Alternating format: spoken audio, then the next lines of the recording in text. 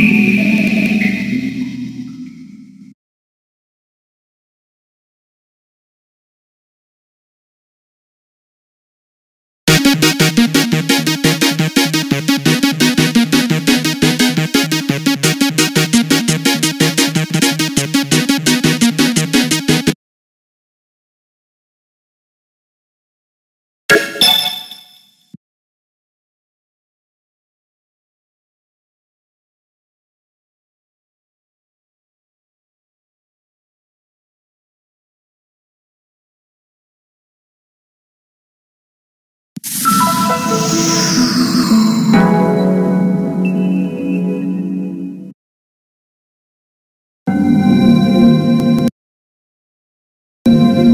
1年前今和のヒョウが全国の高校を襲撃した事件は無事解決し生徒たちは今では何事もなかったかのようにまた繰り返しの日常へと戻っていった。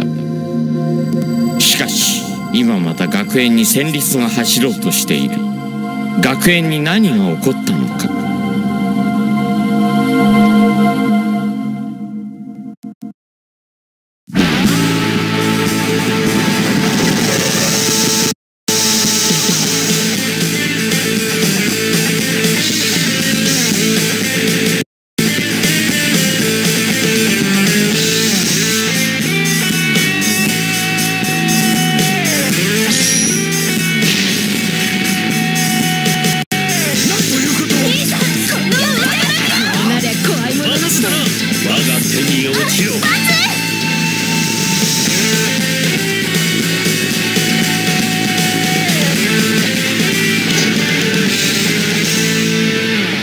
燃えろ！